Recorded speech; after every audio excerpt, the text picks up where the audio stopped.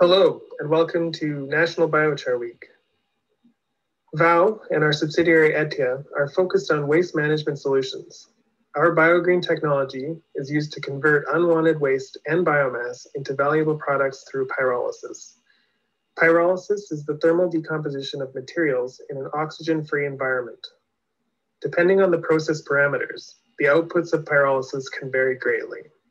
Our BioGreen system allows for precise control of the process and therefore the resulting outputs. The core of our BioGreen system is the patented electrically heated screw conveyor, the Spirojoule. The screw is heated through the Joule effect and directly transfers heat to the product inside the reactor. The temperature of the product is precisely controlled through the automation and sensors. The residence time of the product inside the reactor is also regulated through the rotation speed of the screw, which is adjustable. These factors allow us to adjust the output of the process. Since the temperature and residence time can be controlled, BioGreen offers a solution for converting a wide range of feedstocks into various valuable products. The process can be operated at low temperature for torrefaction or up to 850 degrees Celsius to increase syngas production. Medium temperature pyrolysis of woody biomass results in high quality biochar that can be used as a soil amendment. Through syngas processing, oil can be separated out from the syngas, or the syngas can be combusted for additional thermal energy.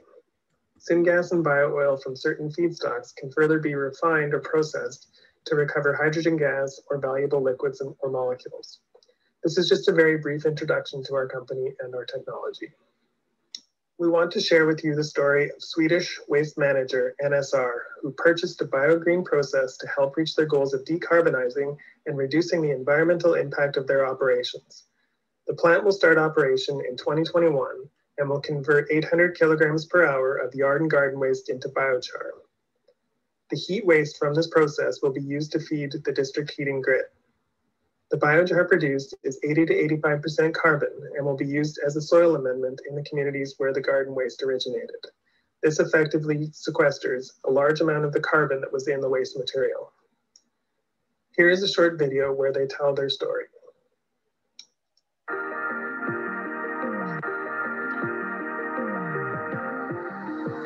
At NSR, we're trying to valorize the waste coming in to our facilities.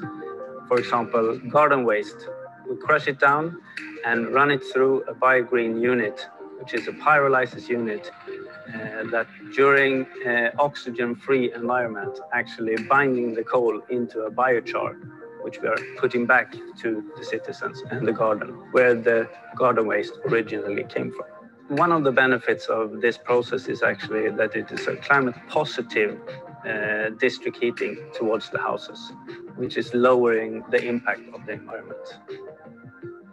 When you combust landfill gas, you take down the climate effect to 1 25th. And that 1 25th we're using to make biochar, which even further sinks the carbon impact from the process. When the carbon is finished and comes out of the process, we will take uh, biofertilizer from our biogas plant and uh, use to drain the biochar with fertilizer so it becomes a product for the market. We're really closing the loop. We're taking the waste from our citizens and we give them back heat, which is climate positive. Well, NSR was looking for a technology that would be uh, very precise, uh, very reliable, very controllable in operating conditions, uh, and a technology that would have a long track record on the market at the same time. Basically, uh, BioGreen is a solution that was developed nearly two decades ago uh, with a vision of uh, creating a value from the waste and different residues. So what um, people see as, a, as an unwanted residue, we see as a, something that can create a value for an economy, for a circularity.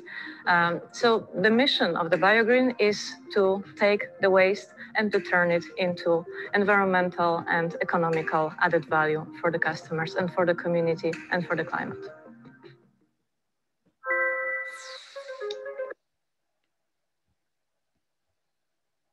Thank you very much for this opportunity. If you have any questions, please let us know.